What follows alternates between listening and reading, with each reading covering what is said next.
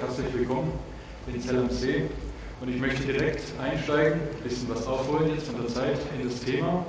Und zwar ist es ein Teilaspekt aus dem Vortrag von Herrn Professor Kaufeld, und zwar, welchen Einfluss haben Kältemittel mit einem sehr hohen Temperaturgleich auf Verflüssigung und Verdampfung?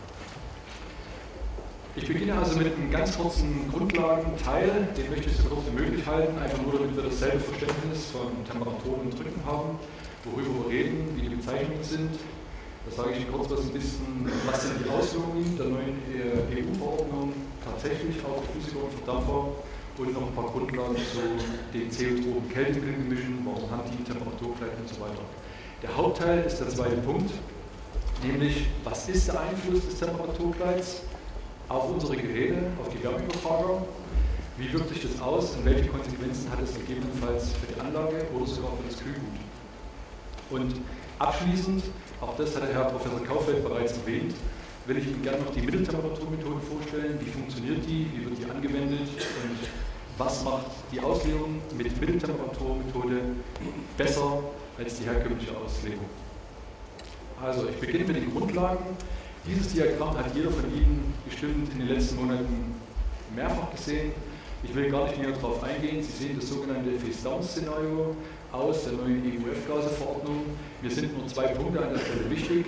Zum einen ist es dieser GWP-Grenzwert von 2500, der im Jahr 2020 also greifen wird für die Errichtung von Neuanlagen. Und der zweite Punkt ist der erste dramatische Einschnitt um 37 Prozent im Jahr 2018. 2018 ist also morgen. Und es ist wichtig, dass wir da alle jetzt an einem Strang ziehen, um diese Ziele zu erreichen. Um diese Grenzwerte einhalten zu können, gibt es für die Branche genau zwei Möglichkeiten. Die erste Möglichkeit ist, Sie setzen Kältemittel mit einem niedrigen Global Warming Potential ein. Ganz klar. Dazu zählen also neben den natürlichen Alternativen CO2, NH3, Propan, Wasser, alles was wir bereits gehört haben, auch neue synthetische Kältemittelgemische, die neuen, äh, geringere GWPs haben, also die sogenannten Low-GWP-Alternativen. Wie Sie hier schön sehen können, ist der Anlagen-GWP einfach nur ein Produkt aus Kältemittelfüllmenge und Global Warming Potential. Die 1000 ist nur ein Umrechnungsfaktor zwischen Kilogramm Kältemittelfüllmenge und CO2-Äquivalent in Tonnen. Da es ein Produkt ist, ergibt sich direkt die zweite Variante, wie man die Grenzwerte erreichen kann, nämlich die Kältemittelfüllmenge reduzieren. Auch darüber haben wir schon was gehört und werden noch weiteres hören am heutigen Tag. Was uns also dazu bringt, dass Verflüssiger und Rückkühler mit kleineren Rohrvolumen, also kleineren Kernrohrdurchmessern, in der Zukunft immer mehr zum Standard werden. Die brauchen dann gleichzeitig eine höhere Effizienz, damit sie die Leistung wieder erreichen können.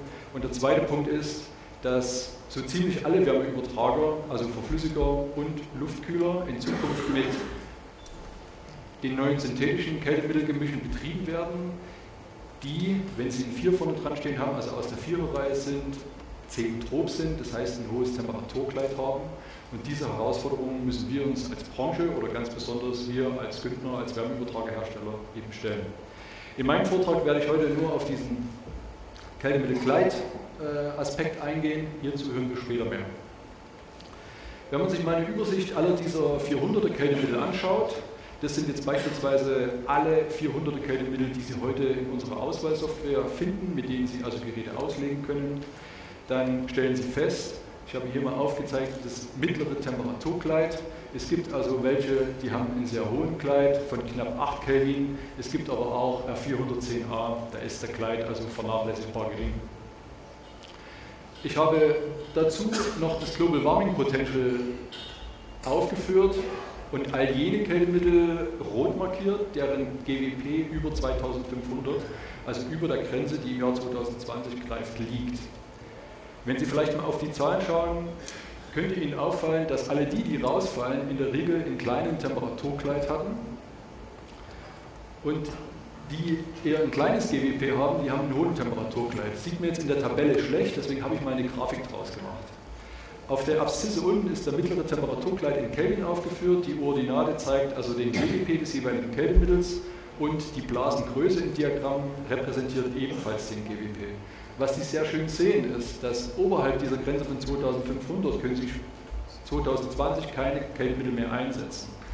Diese Kältemittel, die da waren, namentlich besonders R404A, die hatten einen kleinen Temperaturkleid. Alle zukunftsfähigen Kältemittel, und Sie sehen hier richtig schöne Linie runtergehen, je niedriger der GWP, desto höher das Temperaturkleid. Das heißt, das wird uns in Zukunft also alle betreffen. Warum haben jetzt aber zeotrope Kältemittelgemische überhaupt ein Temperaturkleid? Ich will das jetzt nur ganz vereinfacht darstellen, und zwar am Beispiel von R449A.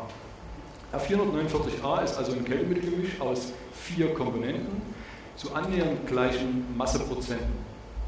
Was diese einzelnen Gemische allerdings unterscheidet, ist ihr Normalsiedepunkt und der ist sehr unterschiedlich, also deutlich unterschiedlich. Die tiefsiedendste Komponente R32 hat einen Normalsiedepunkt von minus 52 Grad Celsius und die am höchsten siedendste Komponente R134a von minus 26. Also zwischen diesen beiden liegen schon 26 Kelvin. Was dazu führt, wenn Sie dieses Gemisch verdampfen, ganz vereinfacht gesprochen, wenn Sie das Gemisch verdampfen, verdampft zuerst die Komponente, die am tiefsten siedend ist und dann immer mit steigendem Siedepunkt die Komponenten nacheinander, also sie verdampfen gleichzeitig, aber ganz vereinfacht gesprochen nacheinander. Das führt dazu, dass die Verdampfungstemperatur beim Durchschreiten des Verdampfers ansteigt. Beim Verflüssiger funktioniert es genau umgedreht, weil wir durchschreiten ja das Halopet-Diagramm in umgekehrter Reihenfolge. Die am höchsten siedendste Komponente wird zuerst verflüssigt und zum Schluss die, die am, äh, am tiefstsiehendsten ist, was dazu führt, dass im Verflüssiger die Verflüssigungstemperatur allmählich abnimmt.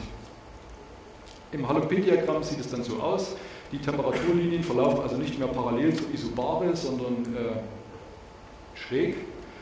Die Taupunktemperatur ist immer höher als die Siedetemperatur und der Unterschied dazwischen, das ist das Temperaturkleid.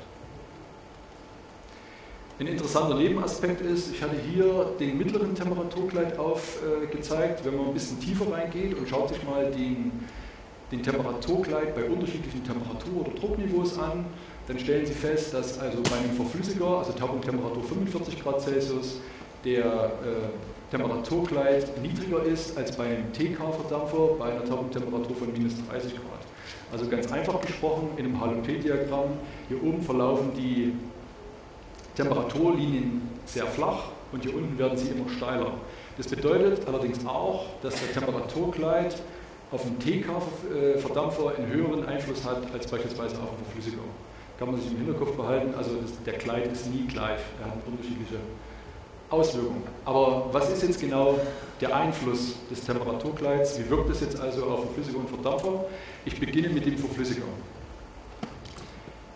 Wenn Sie einen Verflüssiger auswählen, dann erfolgt es neben einigen anderen Kriterien wie beispielsweise Schalldruckpegel, Aufstellfläche oder vielleicht auch Markenname des Herstellers aus thermodynamischer Sicht nach Leistung und Temperaturdifferenz. Und zwar der Temperaturdifferenz zwischen Verflüssigungstemperatur und Lufteintrittstemperatur am Verflüssiger. Dieses Delta T hat wiederum also mit diesem Delta T legen Sie also den, die Rahmenbedingungen fest, die indirekt wirken auf, dieses, auf die mittlere Temperaturdifferenz, die am Wärmeübertrager wirkt, nämlich das Delta Theta M. Die Leistung, die Verflüssigungstemperatur und die Lufteintritttemperatur, die geben Sie also in unsere Auswahlsoftware ein und Sie legen damit den Rahmen.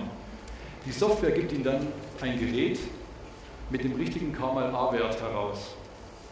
Das bedeutet, dass das Delta T, was Sie dort eingeben, direkten Einfluss auf die Größe des Verflüssigers hat. Großes Delta T, kleinerer Verflüssiger, kleines Delta T, großer Verflüssiger. Ziemlich einfacher Zusammenhang. Wenn Sie sich jetzt fragen, für welches Delta T oder welchen Delta T-Bereich sollte ich jetzt auslegen, dann hat der Verband der deutschen Maschinen- und Anlagenbauer eine Antwort für Sie. Äh, dieser hat nämlich ein Einheitsblatt erlassen, vor einiger Zeit, seit vier Jahren bereits gibt es das, und zwar die 24.24.7 Teil 8, an dem auch Günther mitgewirkt hat. Und da geht es in Teil 8 um die Komponenten, also die Wärmeübertrager und wie werden die unter diesen Aspekten der Energieeffizienz von Kälteanlagen richtig ausgelegt. Und dann hat man festgelegt, zwischen 8 Kelvin und 13 Kelvin soll also dieses Delta T betragen. Schauen wir uns beispielsweise eine Auslegung eines Verflüssigers für 404a und einen Delta T von 10 Kelvin an. Delta T 10 Kelvin bedeutet, wir haben einen Verflüssigungsbeginn von 45 Grad Celsius und eine Lufteintritttemperatur von 35 Grad und dann würde unser Programm Ihnen beispielsweise dieses Gerät wählen mit der Fläche von 25 Quadratmeter. Wenn wir dasselbe Gerät jetzt berechnen mit R449A, mit demselben Delta T und derselben Fläche, also es ist dasselbe Gerät, nur ein anderes Kältemittel, dann stellen Sie fest, dass das Gerät mit 449A betrieben 17% Minderleistung hat. Und jetzt ist die Frage, warum ist das so? Ist das Kältemittel schlecht? Liegt es an anderen Gründen? Und da möchte ich gerne einsteigen und würde Ihnen das gerne aufzeigen. Ich gehe also wieder zurück in ein Halopediagramm. Wir befinden uns hier oben im Bereich des Verflüssigers und unser Beispiel war, einen Verflüssiger zu finden für R410A mit einer Leistung von 10 Kilowatt bei einer Verflüssigungstemperatur von 45 Grad Celsius. 45 Grad Celsius bedeutet nach Norm, dass hier die Taupunkttemperatur als Verflüssigungstemperatur gesetzt wird, als Bezugspunkt. Und zu dieser Temperatur gehört im Fall von R404A ein Druck von 19,44 Bar Überdruck. Am Austritt des Verdampfers, also die Siedetemperatur, in dem Fall beträgt bei 404a 44,7 Grad. Das heißt, 404a hat den Temperaturgleit von 0,3 Kelvin. 0,3 Kelvin hat also viele Jahrzehnte, sage ich mal, seitdem es HB62, also 404a gibt, keinen interessiert, weil es so gering ist, dass es tatsächlich praktisch keine Auswirkungen hat auf den Wärmeübertrager. Bei 449a allerdings ist die Austrittstemperatur jetzt schon 40,5 der Temperaturgleis ist mit 4,5 Kelvin 15 Mal so hoch wie bei 404a. Und da beginnen wir also langsam direkte Auswirkungen auf den Verflüssiger zu haben. Und das könnte ja der Grund sein, warum wir da diese 17% Minderleistung haben. Um den Wirkmechanismus darstellen zu können, ähm, gibt es jetzt dieses Temperaturortdiagramm. In diesem Temperaturortdiagramm sehen Sie also in der roten Linie dargestellt, das ist der Temperaturverlauf des Kältemittels und hier blau dargestellt der Temperaturverlauf der Luft. Das Kältemittel tritt also ein mit 75 Grad, äh, Grad Celsius als überhitztes Gas, wird enthitzt und hier an diesem Punkt beginnt die Verflüssigung, Taupunkttemperatur und hier hinten endet die Verflüssigung. Die Luft tritt ein mit 35 Grad Celsius, also das sind wieder genau diese 10 Kelvin Delta T und wird erwärmt. Wenn man die Fläche zwischen beiden Temperaturen integrieren würde, dann erhalten Sie genau die mittlere Temperaturdifferenz, die am Verflüssiger wirkt, und dieses, dieses Delta Theta M. Und der Bezugspunkt für die Verflüssigungstemperatur, das hatte ich im Halogediagramm erwähnt, ist immer die Taupunkttemperatur. Das ist ein Diagramm für einen idealen Verflüssiger mit einem Einstoffkältemittel. Idealer Verflüssiger, kein Druckverlust, Einstoffkältemittel kein Temperaturgleich. Also hier im Zwei-Phasen-Gebiet bleibt die Temperatur bei 45 Grad. Das bedeutet, dass diese rot gestrichelte Linie irgendwo das Ideal darstellt, was man idealerweise erreichen könnte. In der Praxis schaut es so aus, Verflüssiger haben einen Druckverlust, deswegen hier äh, für ein Einstoffkältemittel der Temperaturverlauf für einen Verflüssiger mit Druckverlust Druckverlust bedeutet, dass am Ende des Verflüssigers der Druck also geringer ist als am Eintritt. Somit sinkt auch die Kältemitteltemperatur. Allerdings ist der Effekt hier so gering, dass ich ihn tatsächlich so blinkend markieren musste. Das sind nur wenige Grad Kelvin. Und uns bleibt aber nur die grüne Fläche als äh, mittlere Temperaturdifferenz übrig. Das heißt, der Druckverlust, der geht uns verloren als Leistung. Wenn wir den Verflüssiger mit dem Druckverlust, also den realen Verflüssiger, jetzt mit einem Zeotropen-Kältemittelgemisch betreiben, dann schaut der Temperaturverlauf jetzt so aus. Wir hatten vorhin gelernt, dass sich die Verflüssigungstemperatur beim Durchscheiden absenkt. Das bedeutet, hier hinten raus, dieses ganze Dreieck geht uns jetzt also weiterhin oder noch zusätzlich als äh, treibende Temperaturdifferenz verloren. Und das ist genau der Punkt, wo wir die 17% Leistung verloren haben. Denn hier hinten ist das Delta T einfach viel geringer. Als kurzes Zwischenfazit bedeutet es also, dass der Temperaturgleich dieser Kältemittel zu einer Verringerung der Temperaturdifferenz am Verflüssiger führt, was nach Karma mal Delta T dazu führt, dass die Leistung sinkt. Da kommen die 17% her. Wenn Sie jetzt trotzdem die 10 kW installieren wollen, wovon ich also ausgehe, müssten Sie also einen Verflüssiger wählen, der größer wird. Da Delta Theta M sinkt, die Leistung konstant bleiben soll, muss die Fläche steigen. Also Verflüssiger mit dieser Auslegung werden größer. Dagegen haben wir zunächst erstmal nichts. Und es hat für Sie auch den positiven Nebeneffekt, dass der Anlagenwirkungsgrad steigt, weil sie niedriger verflüssigen. Wie verhält es sich beim Verdampfen? Der Verdampfer wird also ähnlich äh, mit den thermodynamisch gesehen mit den gleichen Aspekten ausgelegt, nämlich Leistung und Temperaturdifferenz. Wobei an der Stelle die Temperaturdifferenz DT1 die Lufteintritttemperatur in den Verdampfer ist, minus der Verdampfungstemperatur. Und hier verhält es sich also genauso wie beim Verflüssiger.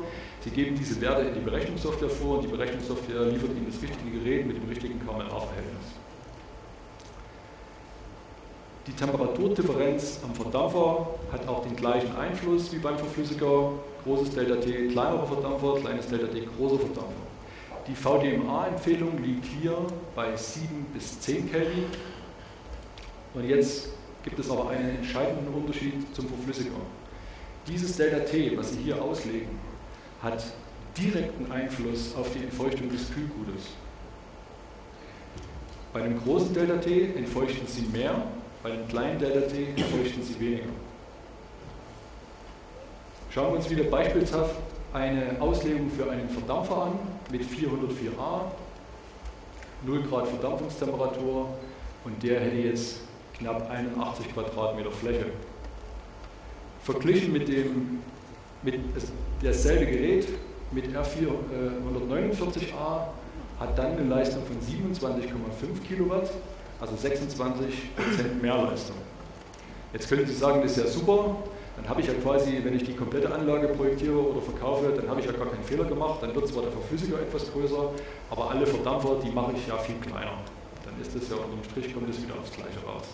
Ist aber mitnichten so und ich würde sehr und ganz dringend davon abraten, denn die Entfeuchtungsleistung ist die doppelte mit diesem Gerät, mit R449a, wenn Sie den Temperaturgleich nicht beachten. Das heißt, bei einer Anlage mit unverpacktem Kühlgut im NK-Bereich haben Sie da ein massives Problem.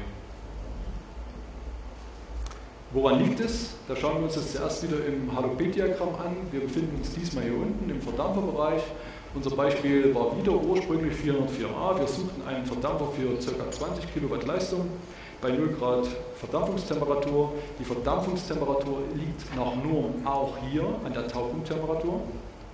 Und die, der dazugehörige Druck ist bei 404a 5 bar glatt.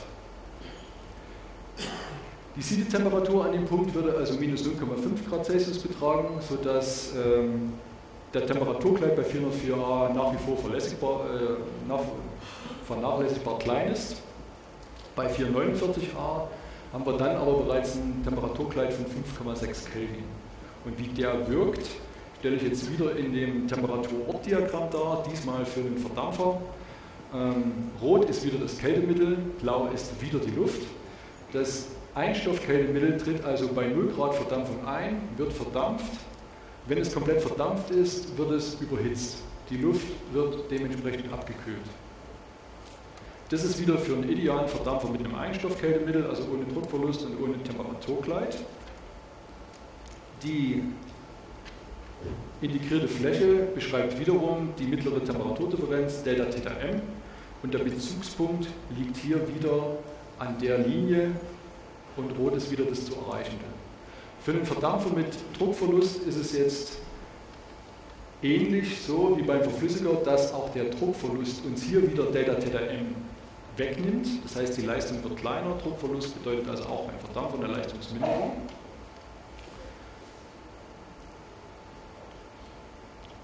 Und für ein Kältemittel, äh, für ein zeotropes Kältemittelgemisch schaut es jetzt aber so aus, dass wir nach Norm ist die Taupunkttemperatur als Verdampfungstemperatur festgelegt.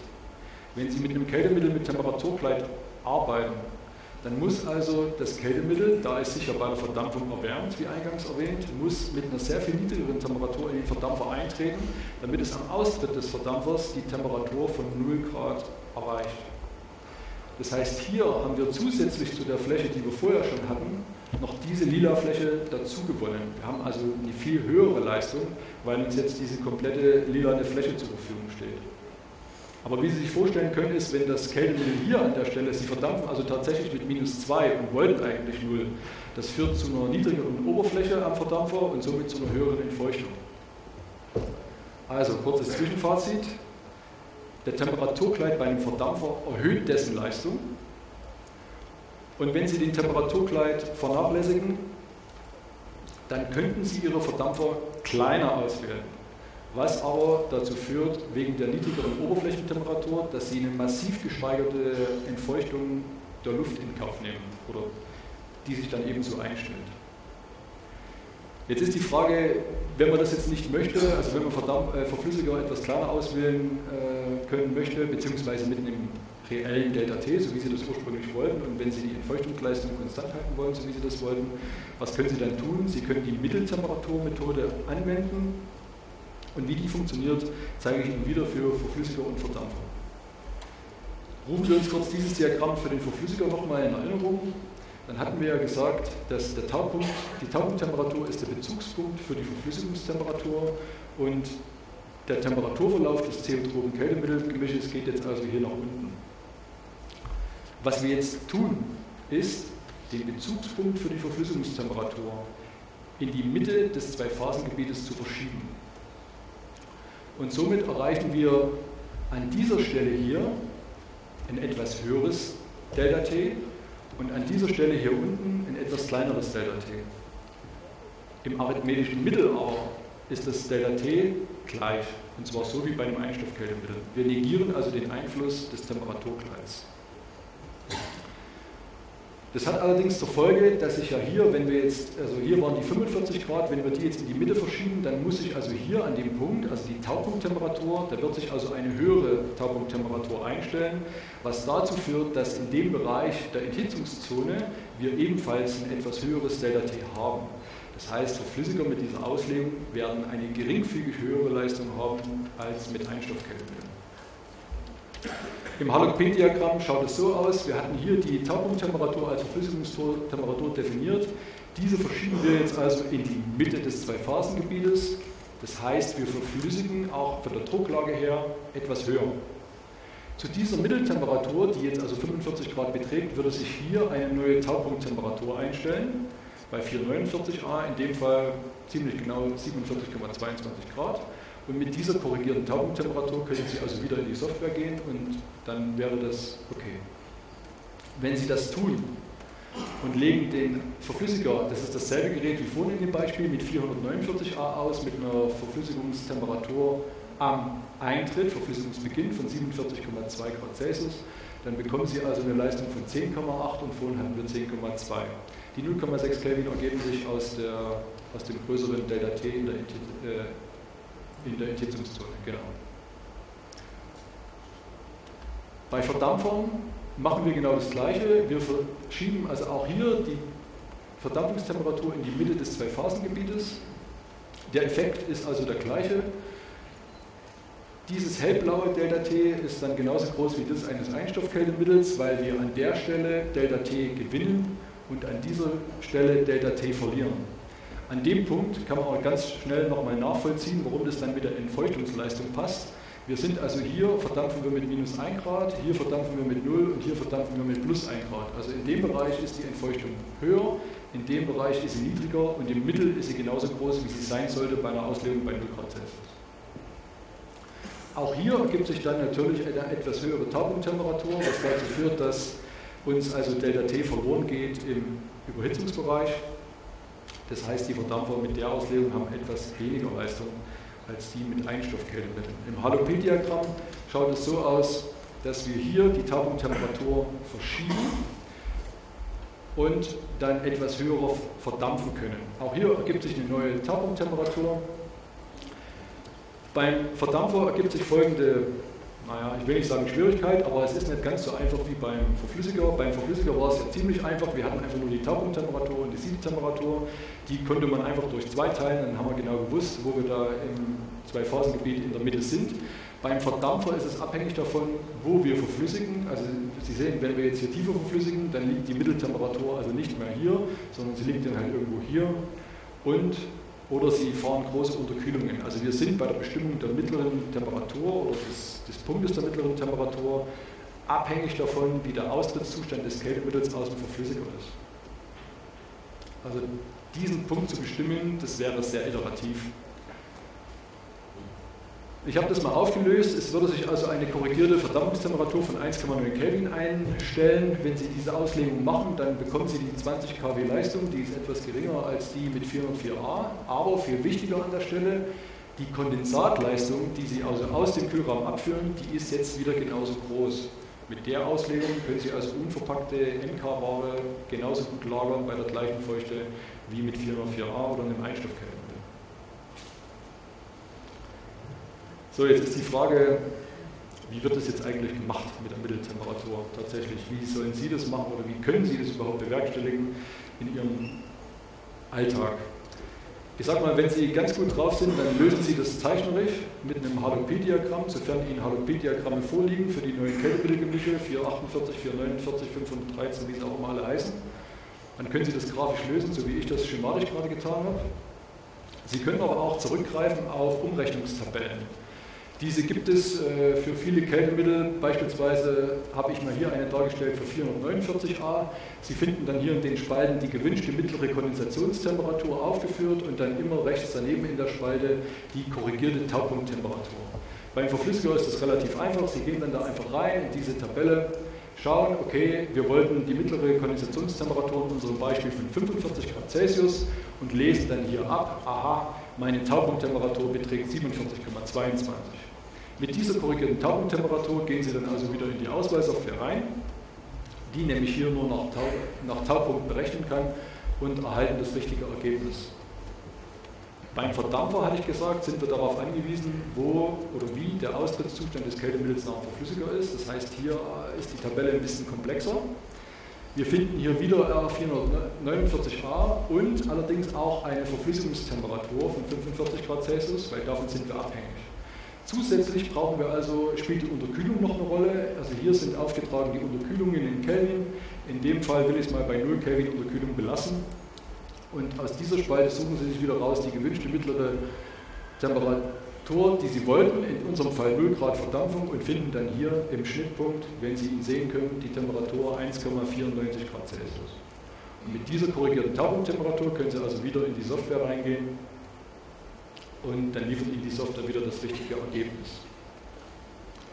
Das können Sie machen, sofern Ihnen diese Umrechnungstabellen zur Verfügung stehen. Das bedingt aber, dass Sie dann eine Software haben, die mit den thermophysikalischen Daten dieser Kältemittel rechnet. Also das sind nur Umrechnungsfaktoren für die Taupunkttemperatur.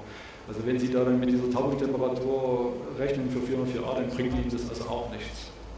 In der Zwischenzeit habe ich aber eine Software finden können, die Ihnen das Leben wesentlich einfacher gestaltet.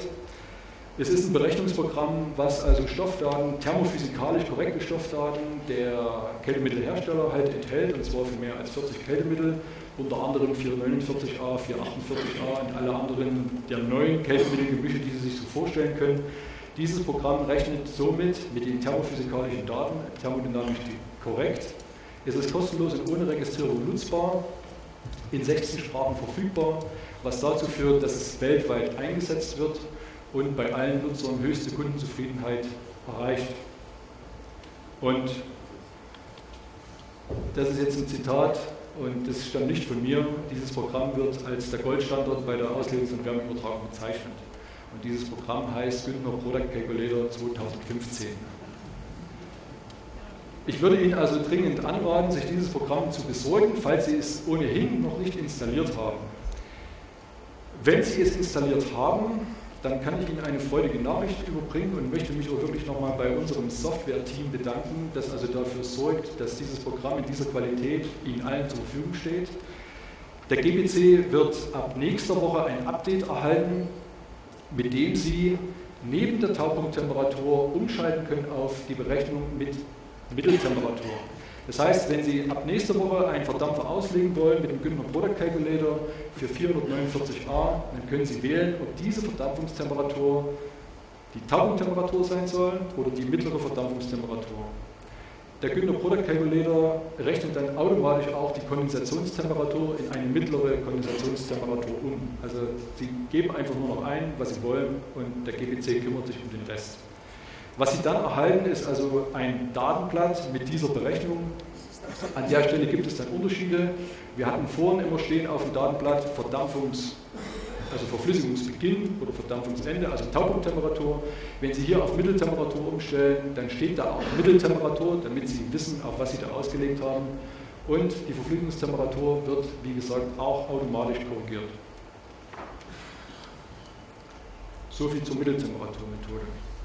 Ich glaube jetzt, oder ich bin am Ende meiner Präsentation. Ich hoffe, dass ich ein bisschen Zeit da reinholen konnte, aber ich hoffe, dass ich Ihnen gleichzeitig auch vermitteln konnte, dass dieser Aufwand, den wir da betreiben und dieses Know-how und den Aufwand, den wir in unsere Software stecken, ein Teil dafür ist, dass Sie zusammen mit Günther, dass Ihnen jedes Mittel recht sein kann. Vielen Dank.